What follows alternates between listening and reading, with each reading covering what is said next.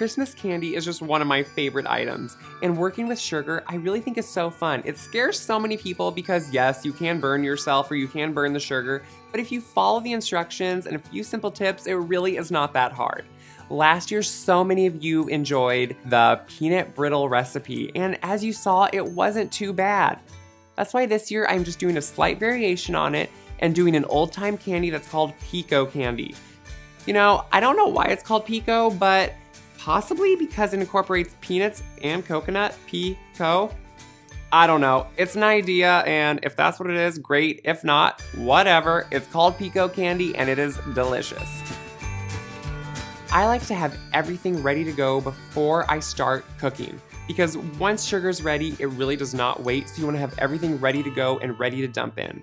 So I always have my butter and peanuts ready to go on the stove with me where I need them, and then I have my vanilla, baking soda, and coconut ready to go right when I take my kettle off the heat.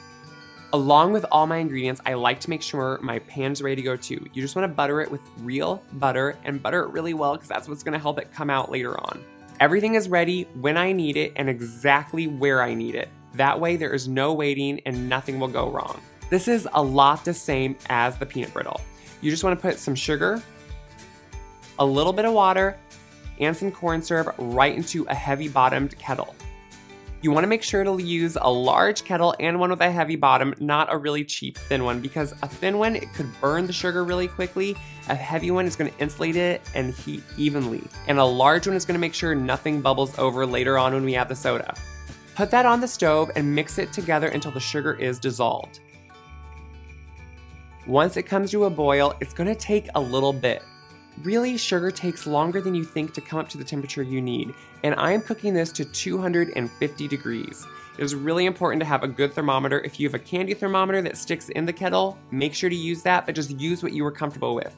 I have a good instant read thermometer that I love, and just make sure that you have a good thermometer. Very important, because a few degrees makes a big difference when working with sugar. Once it starts boiling, stir it occasionally just to make sure there's nothing sticking to the bottom, you can start checking your temperature every so often. Once I'm at 250 degrees, I add in the real butter. You wanna make sure to use real butter here and my peanuts. And you wanna make sure to use raw peanuts like the recipe says. That makes a huge difference because the hot sugar actually cooks the peanuts, so you do not want roasted ones or salted ones or anything. Raw peanuts. Once you dump those in, you do wanna start stirring it fairly regularly because the peanuts can scorch on the bottom of the pan. So keep stirring it and checking the temperature. This one I don't cook to quite as hard as I do the peanut brittle. I only cook it to about 295 to 300. Once it is at that, make sure to take it off the heat instantly, then add in a little bit of real vanilla, some baking soda, and yes, it is gonna bubble, when the vanilla and soda are mostly stirred in, you just want to add your unsweetened coconut flakes. You want to make sure to get the flaked coconut, which is larger pieces and unsweetened. Stir that in and then very quickly dump it right into your buttered pan. And do not spread it out. I don't like spreading it out because that just makes it really flat and hard and you don't get those good bubbles inside of it.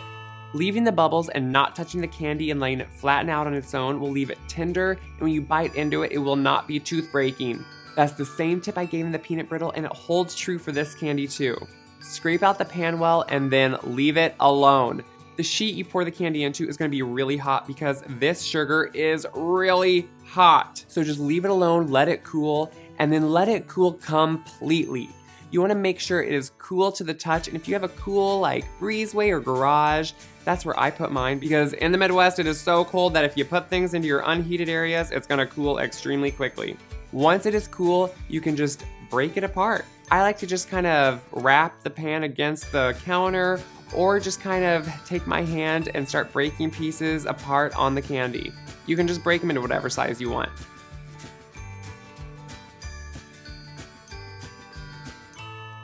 Then it is ready to go. The coconut slightly flavors this, it adds some great texture, and honestly, this is such a good take on a traditional peanut brittle. I can't wait for you guys to try this, and it is so delicious. I hope you liked this video, and if you did, make sure to click like below and click subscribe to become part of the Grey Boxwood family and see all of our videos. I love to share all of my holiday baking and decorating secrets with you, and I hope you do the same. Make sure to leave a comment. Thanks so much, and Merry Christmas.